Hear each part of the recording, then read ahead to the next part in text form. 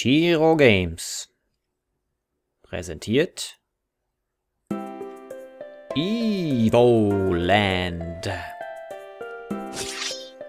Wir begeben auf eine, uns auf eine kleine geschichtsträchtige Reise zurück zu den Anfängen von den guten alten Adventure-Spielen wie Zelda oder Final Fantasy. Unten rechts haben wir auch schon ein, eine kleine Reminiszenz. Da steht Copyright 1986 bis 2013 Shiro Games. Das ist natürlich nicht ganz richtig, aber äh, es, zeigt da, es zeigt an, in welchem äh, Jahres, in welcher Jahresspanne wir uns bewegen. Gut, ich habe noch nicht angefangen und wir steigen einfach mal direkt ein. Neues Spiel. So. Wir können nur nach rechts laufen. Freigeschaltet rechte Taste. Hier scheint es eine Truhe zu öffnen zu geben. Dann machen wir doch. Freigeschaltet linke Taste. Immer nach rechts gehen ist öde. Das stimmt. Freigeschaltet 2D-Bewegung. Und wir haben den ganzen Bildschirm zur Verfügung. Ein Glück, ihr könnt nämlich sonst nirgendwo hingehen. Freigeschaltet einfacher Bildlauf. Ihr möchtet sehen, wohin er geht. Stimmt's? Ja, das, das wäre ganz nett. Das wäre wirklich reizend. So, da ist die nächste Truhe. Da haben wir auch die ersten Soundeffekte. Freigeschaltet Soundeffekte, dadurch wird das Spiel gleich lebendiger. Und wir hören jetzt, wie wir laufen. Freigeschaltet glatter Bildlauf erspart euch einiges an Kopfzerbrechen. Ah ja, jetzt sind wir im Zentrum des Bildschirms. Und die Kamera folgt uns. So. Freigeschaltet ein Schwert. Jetzt könnt ihr böse Monster töten und Gebüsch niedermähen. Ja, wie geht das? Ah ja, okay, so. Zack, wir gehen mal nach links. Hier ist nämlich eine Truhe und ich vermute mal, dass man da wieder zurück zum Anfang muss. Hier. So. Freigeschaltet die Karte Oktorak, eine neue Karte, um Doppelzwilling zu spielen. Und hier ist auch noch ein Gebüschpfad mit einer Kiste am Ende. Freigeschaltet, ein Stern. Sammelt alle versteckten Sterne in Evoland. Wir versuchen's. Die sind wahrscheinlich dann immer als, äh, als Secret untergebracht. So. Freigeschaltet Monster. Vorsicht, berührt sie nicht. Blablabla. Blablabla. Freigestellt Musik, ja, Evoland-Melodie, seit 2012 ganz oben in den Charts. Ja, habe ich noch nie gehört.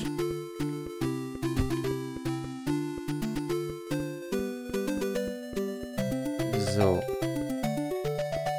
Okay, ich dachte, man wird direkt teleportiert oder so. Okay, wir machen erstmal die Kiste hier auf. Bei den Kakteen. Freigeschaltet Speicherpunkte. Eine Entwicklung, die Computerspiele für immer verändert hat. Das ist allerdings wahr. Ach, da können wir jetzt speichern. Spiel gespeichert. In Sicherheit. Jawohl. Hier? Ein Stern. Ein weiterer Stern. Freigeschaltet die Karte Fledermaus. Eine neue Karte, um Doppelzwilling zu spielen. Da haben wir schon zwei. Wir haben zwei Karten und zwei... Äh... Dings. Ne? Die 16 Farbenanzeige macht das Spiel doch gleich um einiges schöner. Stein. Okay, da können wir nichts machen. Äh, wollt ihr zum Hauptmenü zurückgehen? Nein.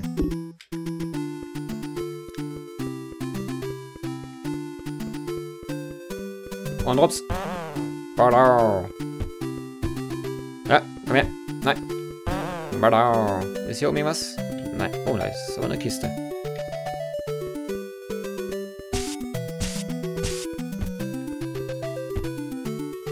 Da kommen wir wahrscheinlich auch erst nachher durch. Komm her. Hab dich. Du bist dran.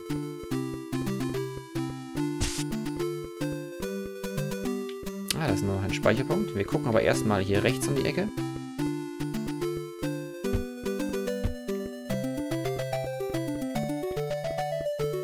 Und hoch geht's. Speicherpunkt. Spiel gespeichert. In Sicherheit. Evoland. A short story of adventure video games. Nach, nach jahrhundertelangem Frieden tat eine uralte böse Macht zurück ans Licht, um die Welt von Evolandia zu bedrohen. Ihr seid eins der wenigen verbleibenden Mitglieder des Ordens der Drachenritter, dessen Aufgabe es ist, die Welt zu bereisen, um in den Nordleinen zu helfen das Böse zu bekämpfen. Dank des jahrhundertelangen Friedens hattet ihr in letzter Zeit nicht gerade viel zu tun, aber es sieht ganz so aus, als würde sich das bald ändern. Meine Güte, das war ein... Ein schneller Crawler. Und wir haben wieder ein Achievement freigeschaltet, die Storyline. Bums. Oh. Okay, man hat nur dieses eine Leben. Das ist auch schon mal gut zu wissen. Gut, den haben wir jetzt schon gelesen. Brrr.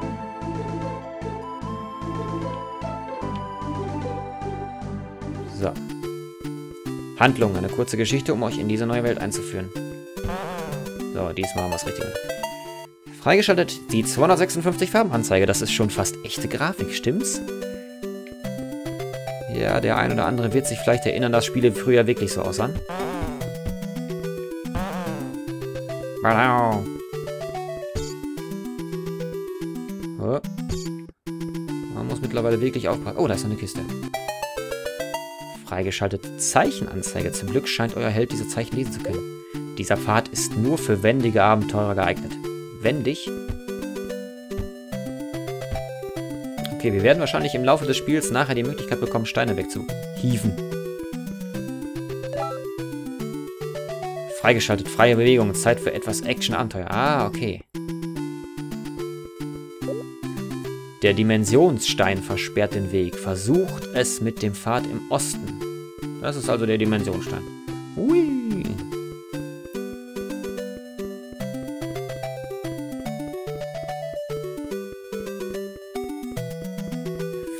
Osten. Okay, die Kakteen können wir nicht aus dem Weg räumen. Ah, hier ist noch ein Kistchen. Der dritte Stern. Okay, wo ist denn hier ein Pfad im Osten?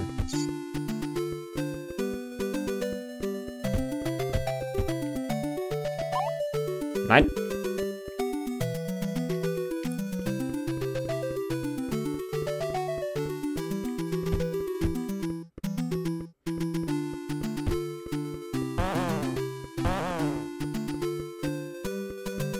So.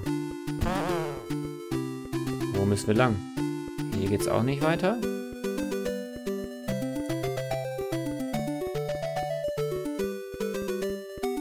Wir speichern.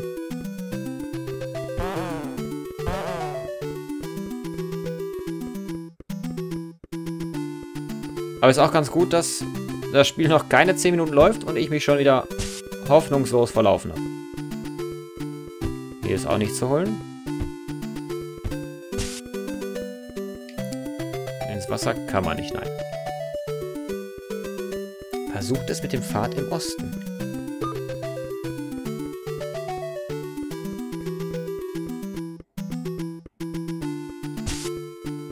Wo soll denn dieser ominöse Pfad sein? Da ist wieder dieser Dimensionsstein. Geht's hier hoch?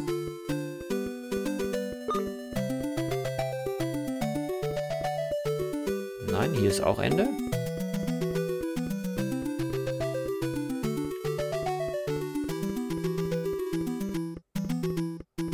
Habe ich irgendwas übersehen? Ah! Ah, okay, nur für Wendige. Jetzt verstehe ich's. Wir haben gespeichert. Oh. Was seid ihr denn für Gestalten? Oh. Ah, okay, die brauchen drei Schläge. Eins. Zwei. Drei. Freigeschaltet. Pfad freigeschaltet. Alle Monster zu töten ist bei eurer Quest mitunter hilfreich. Freigeschaltet. Inventar. Klickt das Symbol an oder öffnet es mit Tab. Okay, wir können es mit Y machen. 3 von 30 Sterne, 2 von 23 Karten, 0 Gold und ein Schwert. Freigeschaltet Überwelt. Die Welt zu erforschen ist nett, nehmt euch aber vor zufälligen Begegnungen nach. Hier können wir auch nicht schlagen. Freigeschaltet rundenbasierter Kampf. Gehen wir zu einem anderen Kampfstil. Ah, okay, jetzt befinden wir uns bei Final Fantasy.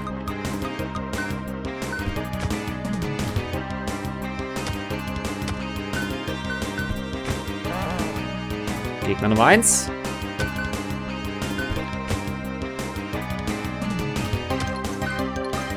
Gegenstände.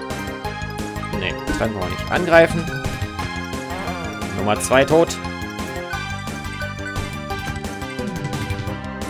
Rechts sieht man unseren Zeitbalken, wann wir angreifen dürfen. Und wir haben es geschafft. Ihr habt 150 Glies gewonnen. Okay, also ist das G kein Gold, sondern es sind Glies. Das wird wahrscheinlich die Ingame-Währung sein. Oh, eine zufällige Begegnung.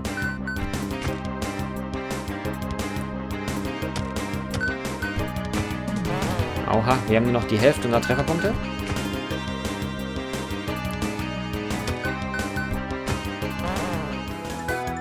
Und nochmal 100 Lies gewonnen. Kann man hier durch? Ja, kann man. Und noch eine Truhe. Mode 7.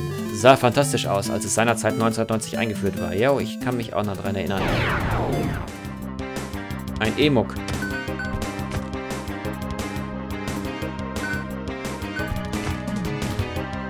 Oha. Und das war's. 50 Lies.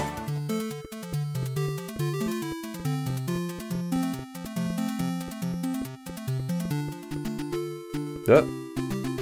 Achso, okay. Wir begeben uns... Freigeschaltet Ortsname, die Wiese. Hier erfahrt ihr die Namen der Orte, die ihr bereist.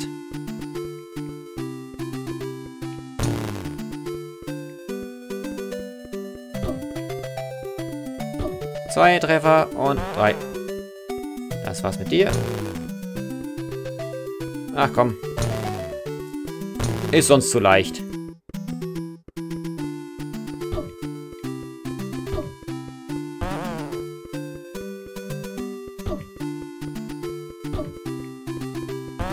So, dich da oben noch.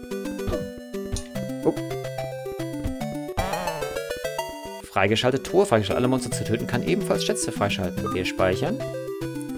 Aber wo ist die Truhe freigeschaltet? Hier geht's nicht weiter nach links. Ah, die da wahrscheinlich. Freigeschaltet Dorf. Warum ist die Musik in Dörfern immer so nervig? Och, es geht.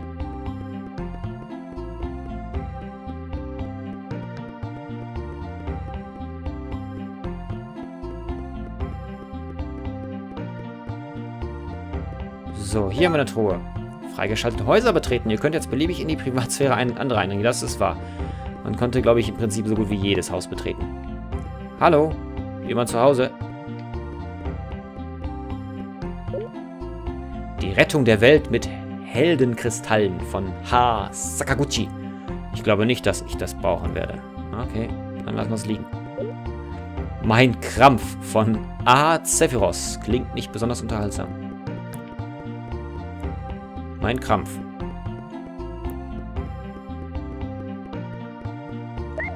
Ihr habt einen Trank gefunden. Hey. Freigeschaltet Gastwirt. Falls ihr etwas müde seid, wartet ein warmes Bett auf euch zu einem fairen Preis. Ja, das sehen wir dann. 1001 Monster mit einem Schuss von Chuck N. Für den unerschrockenen Abenteurer. Wahrscheinlich nicht Chuck Norris mit gemeint. Guten Tag. Ihr seht müde aus. Möchtet ihr euch gegen 10 Glies in unserem gemütlichen Gasthaus ausruhen? Warum nicht?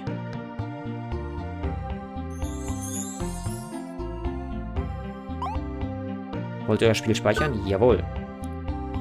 Gut, wir speichern hier und machen dann im nächsten Teil weiter.